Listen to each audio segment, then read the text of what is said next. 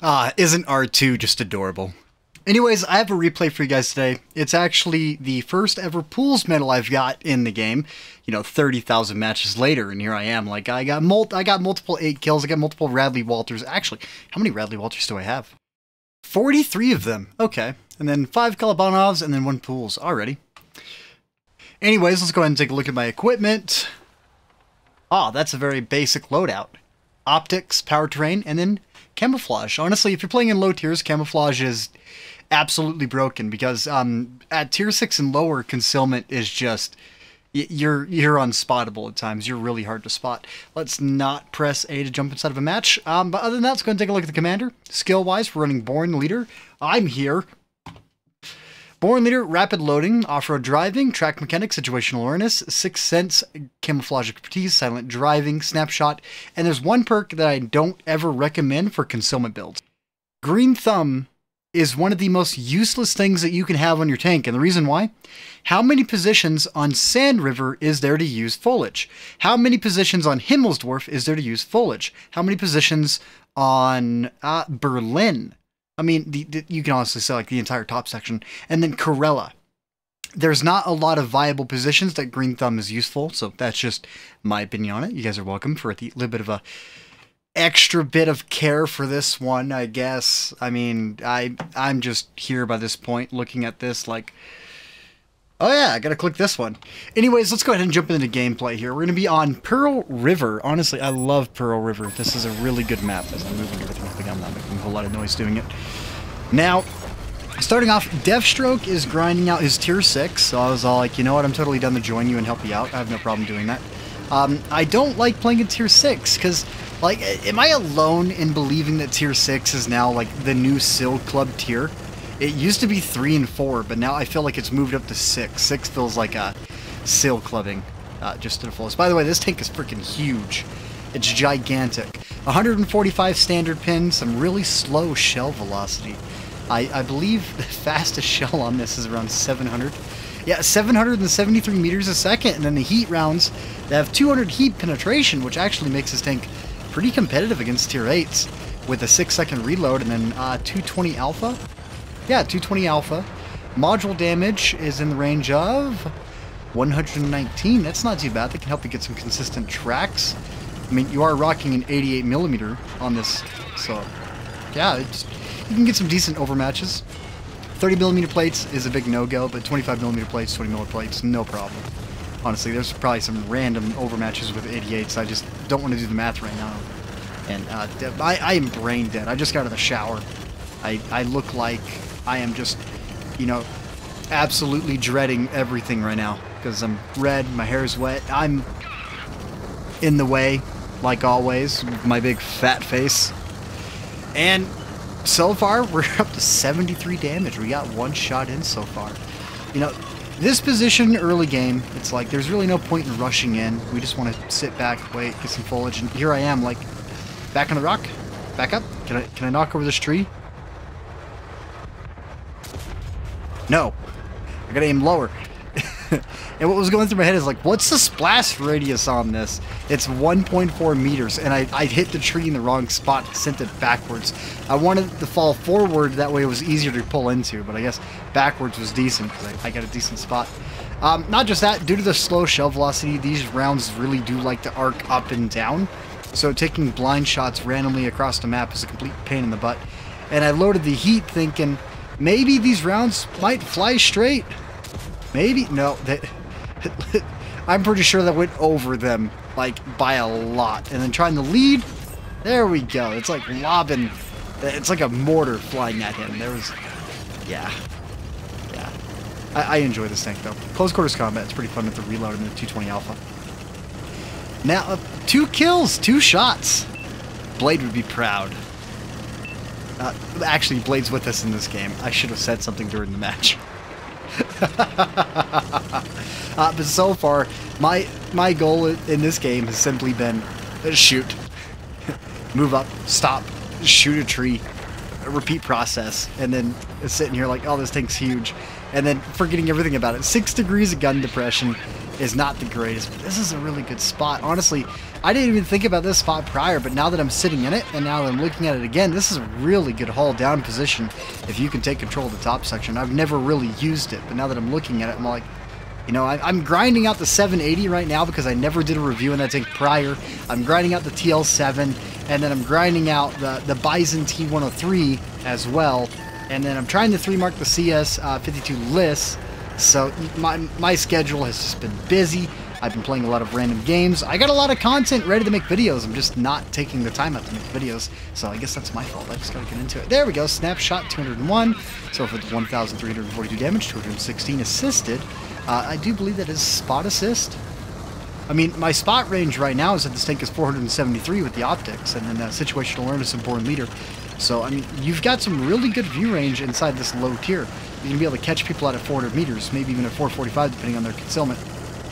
But if people are playing in this early game and they're new to the game, I just, I feel mean because, I mean, tier 5, it's capped out at tier 5. So I guess this isn't considered seal clubbing because Tier 4s, will they'll see Tier 5s, but they'll never see Tier 6. So I guess like 3 and 4 is still clubbing. Tier 5 can be considered still clubbing.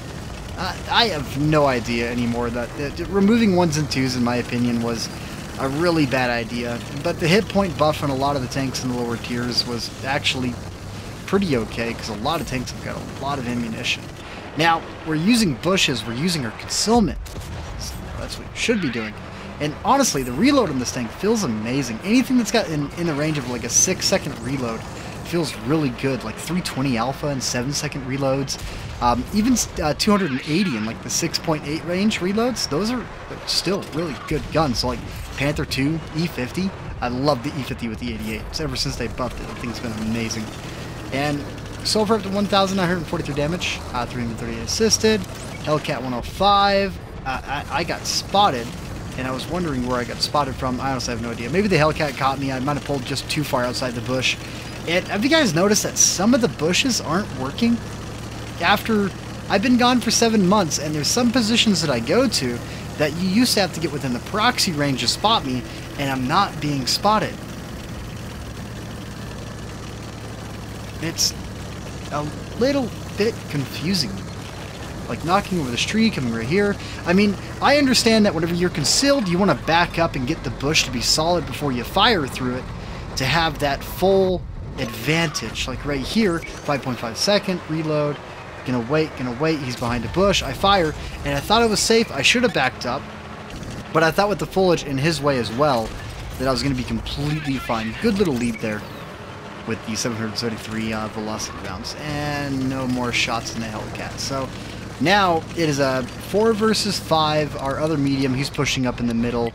I'm trying to ping the map, letting them know where I, I think I got shot from. That might have been what that was. And yeah, there we go, the M41. I actually can pronounce the first name of that tank. Holy crap. And then the M4A1 FL10, that is a 4-shot. Is that a 4-shot autoloader? That's tier 6? I can't remember off the top of my head. And Blade is playing the Firefly VC because he was just asking, like, what's a good sniping tank for this tier? And I told him Firefly. And uh, He he spent the first two weeks back in the game with his reverse inversed. So whenever he would hit reverse, it like rather than holding left on the thumbstick as you're going in reverse and you turn, you're backing up left, he went right. So it was inversed reverse controls, which is default. I don't know why that's default. That is one of the most like imagine logging into the game and when we're trying to back up to avoid something that it just it goes completely opposite of what you want it to be and just having just it, I I don't even know why it, was a thing. And there we go. BDR dropped out. BDRs those have a 90 millimeter tier five, I believe. Those are nasty guns in the low tier. I don't know if they're 240 or 220 alpha, but I know that they are not fun to go against. And as I'm talking about it, I'm trying to find the tank in the trek tech tree. The trek tree. Yeah, the, the trek tree. There we go. We're gonna we're gonna leave it at that and just Yep. Uh, we're gonna be um, just understanding my Muppetry. Incompatible with gun or turret mode, so I can't compare the module. I can't even look at it unless I buy the tank. Thanks, Wargaming.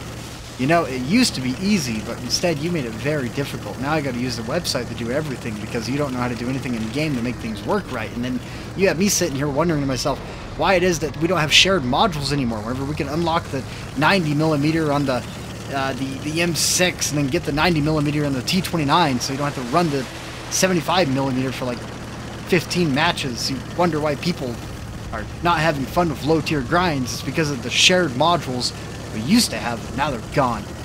Sorry, I'm, I'm on a rant now because you know everyone's going to agree with me on that one though. Shared modules were the greatest thing ever in the game, and it was a feature that was removed, just like how Six Sense used to be a feature and now it's a perk.